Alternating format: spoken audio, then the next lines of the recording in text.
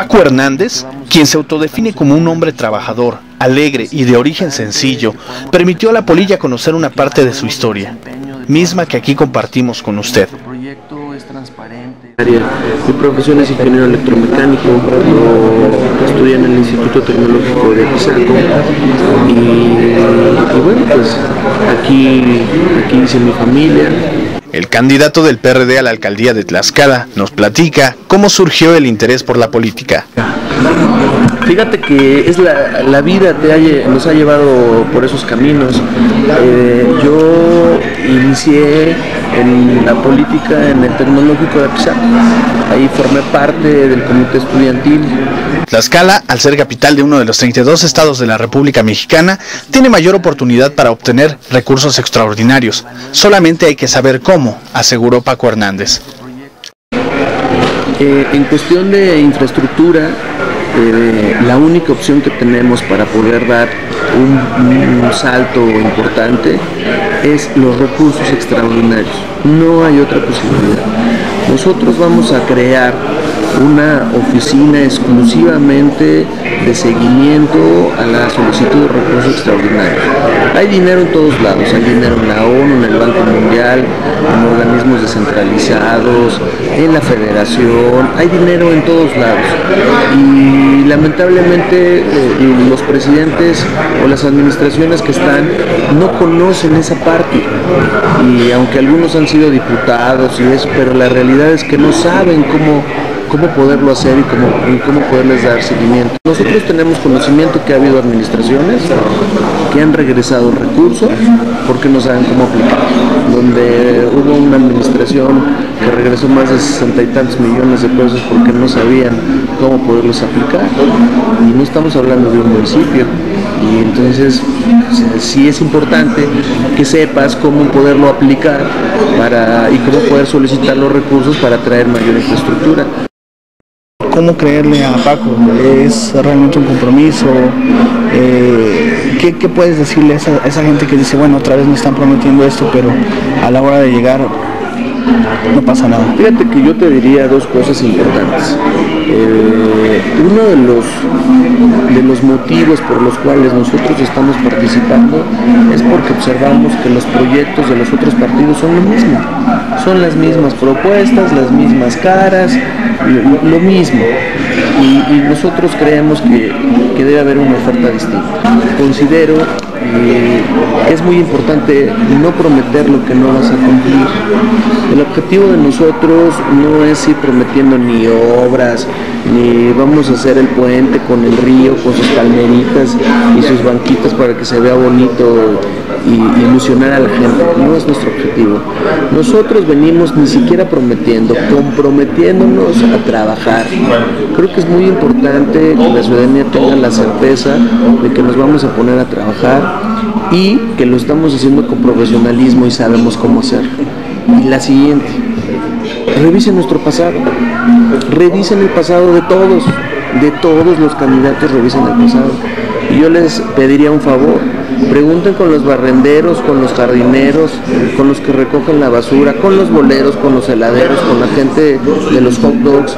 Con ellos tuvimos contacto y ellos nos conocen y saben de nuestro trabajo. Y yo sostengo que si hablan bien de nosotros, significa que hemos hecho las cosas correctas. Esa es nuestra historia. Eso, esa es la garantía que tiene la, la ciudadanía de que en nuestro pasado hemos hecho las cosas correctas. Habría que ver en el menú de, oportunidades de los demás candidatos si pudieran sostener que se, han eh, desempeñado con transparencia y con honradez. Hay algunas situaciones que habría que analizar. Algún candidato trató de humillarte hace unos días llamándote chofer en, un periódico. ¿Cómo te sientes al respecto eh, en este tipo de, acciones de que se denominan a veces guerra sucia? Mira, es evidente que el comentario es para denostar, para tratar de, eh, molestarte. La verdad es que a este personaje le agradezco que nos haya felicitado. Quisiera decirte en primer lugar que no fui chofer de la hoy senadora, fui su secretario particular, pero imagínate, aunque hubiera sido su chofer, grado, qué alto honor poder dirigir la capital. Eso significa y es el mensaje para la ciudadanía que el chofer, el albañil, el, mesero, todos tendríamos y tenemos la oportunidad de dirigir eh, los destinos de esta capital. No necesitamos ser hijo de fulanito o ser junior para poder verdaderamente dar resultados. Esa sería la primera. Y la segunda, pediría con mucho respeto que le daría las gracias, porque a lo mejor este personaje ignora que mi descendencia y lo que yo he sido es producto del volante. Mi padre es chofer, como lo dije hace un rato, y todo lo que soy se lo debo al volante y a esa gran profesión eh, que existe del, volante. Y, pues yo al contrario, en lugar de, molestarme, este, pues le agradezco que, me tome en cuenta y que se tomen la molestia de dedicarme un tiempo, porque eso significa que somos importantes para ellos. La ciudadanía está buscando respuestas, está buscando resultados, no quiere pleitos. Es evidente que esta persona lo único que está buscando es llamar la atención porque va abajo. Los datos que nosotros tenemos es que ya ganamos. La gente cada vez se está sumando más y se está sumando más y se está sumando más. Su propia gente se está sumando con nosotros. Y desde luego que no tiene ni sentido eh, tomarlos en cuenta. Hay unas preferencias muy marcadas ya en, la capital del estado. Tenemos a, tres candidatos que están, digamos que disputando la, capital. No por hacer menos a los demás, pero tal vez a los, tres son, son los más relevantes para, algunos ciudadanos. En ese sentido, bueno, pues tienes a dos exdiputados, eh, un secretario de Estado. ¿Cuál es la diferencia entre ellos y tú? ¿Y por qué eres mejor que ellos, Paco? Número uno, porque todos ellos representan lo mismo de siempre. Han visitado a los hogares de Tlaxcala, eh, solicitado el voto, algunos de ellos en más de una ocasión y la realidad es que la percepción de la gente, y no lo digo yo, la percepción de la gente es que no han dado resultados.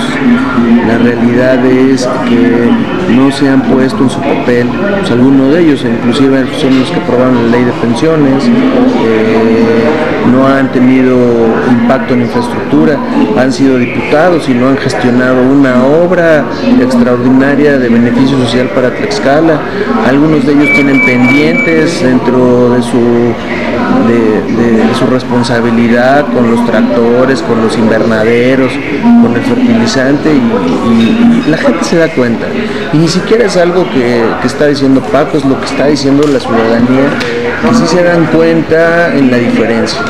Y la segunda es que a pesar de que han sido regidores, diputados locales, que han sido secretarios, la realidad es que ninguno de ellos tiene experiencia municipal. Y desde luego nos encantaría que en, la labor que han tenido de legisladores pues nos ayudaran, pero con toda honestidad ninguno de ellos tiene ninguna experiencia en, el ámbito municipal y toda mi vida la hemos desarrollado en el ámbito municipal. Y esto significa que no debemos de tener gobiernos de ocurrencia.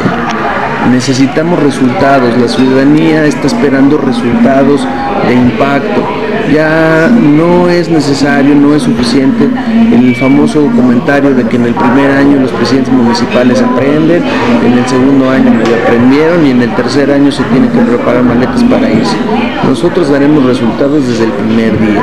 En agosto, en este año, nos tendremos que poner a trabajar para solicitar los recursos extraordinarios para el ejercicio, el ejercicio fiscal 2014.